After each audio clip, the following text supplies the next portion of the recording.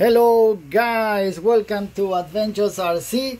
Finally arrived. This is the famous 550 550 DC motor just arrived. It comes in the blue color and they say this this is the best for model boats. So I'm I just bought it. I am I just received it and I am testing it. So I will test it with the watt meter because they claim at 10.4 volts it drains 1.10 amps at 10,000 rpm and 12 volts 1.27 amps 15,000 rpm so we are going to test it to see what happens so I will connect one here. You can see the watt meter we are going to read. I don't connect the other one. I connect a 3S battery. As you can see here it's a 3S and right now the battery has 11.4 volts and this is what happens I will put the crocodile in the positive.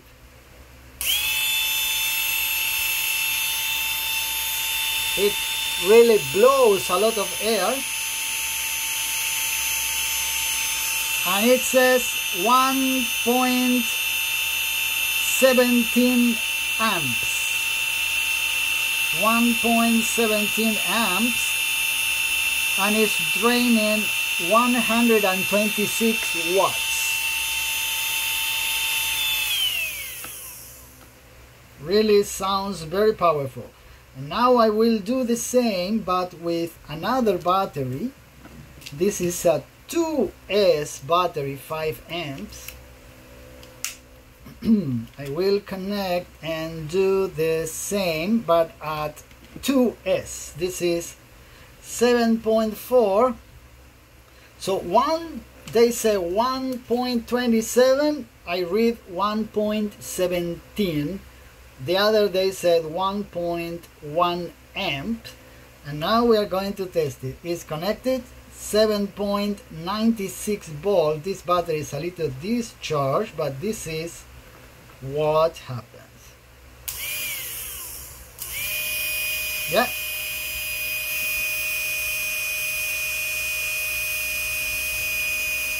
9.97, less than 1 amp.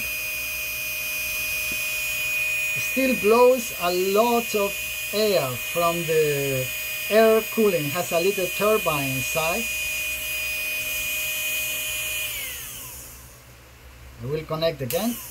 Wow, it's very sensitive. And yeah, right now it's draining 59 watts at 1 end so this just arrived. I will disconnect the battery very quickly. I don't want to have problems. So this is the new blue motor. I will test it in one of the boats. So I will keep you updated. If really it's warm it's not it's it's room temperature didn't get but the little fan if you can see here has a little fan no? I'm showing you. You see there's a little fan and really blows a lot of air at very high pressure. So of course if you are going to put this in a boat you need to put the coil the water coil system around and probably one water system in the place where you put the screws with a piece of aluminum and uh, aluminum tube there to cool down the front and the center of the motor. So this just arrived. The uh, screws are 3M. I already tested. Is 3M is correct. 3M screws and it has two positions not for screw it's just for to center the motor in the case. So this is the famous blue motor just arrived so I will keep you updated if I finally put this in one of the boats. So thanks for watching. See you in the next video. Bye bye